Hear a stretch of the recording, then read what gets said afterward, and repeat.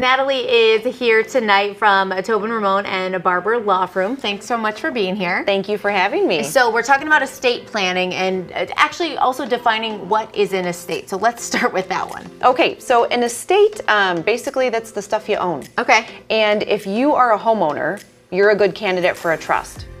A lot of people ask me, what's the difference between a will and a trust? Do I Uh-huh. need both? Do I need one?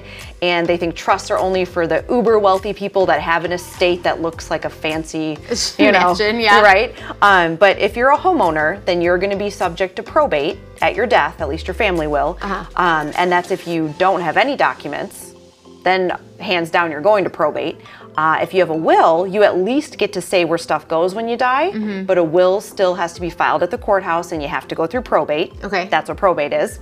Basically, a court case to administrate your assets. Okay. Uh, so, a trust is an ideal estate plan if you're a homeowner.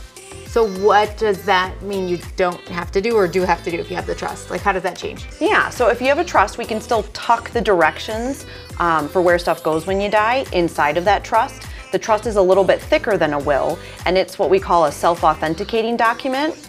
All that your successor trustee has to show is a death certificate, and then they can start handing out the things. Oh, okay. With a will, you might be the nominated executor. That's the job, like a, akin to a successor trustee in a trust. You might be the nominated executor in a will, but you have no power, control, or authority unless and until you pay a lawyer, like me. Okay. Lawyers wrote the laws, I guess. So I think I don't know if it's job security or what, but only a lawyer can enter their appearance on behalf of a state. Okay. Um, so you pay a lawyer like me to draft a probate petition, you pay the court to file it, you pay the newspaper to publish in the newspaper, and then you pay the lawyer like me to go to court every month for six months. That sounds like a lot of work. It is a lot of time, a lot of money, Yeah. and when you're grieving, when you've got what we call the grief goggles on, Yeah. um, it can feel even more like extra Sure. hurdles to go through. Absolutely. So a trust is more like smooth sailing, and a will is more like a, a bumpy boat ride. So is just not having the knowledge the reason why so many people might have a will and not a trust or is there some so. like hurdles on this end that make the trust more complicated to get? Well, the trust is a little more complicated. You have to have um, the budget and the stomach to kind of go through the trust process. Okay. It usually takes two or three meetings to set up the trust.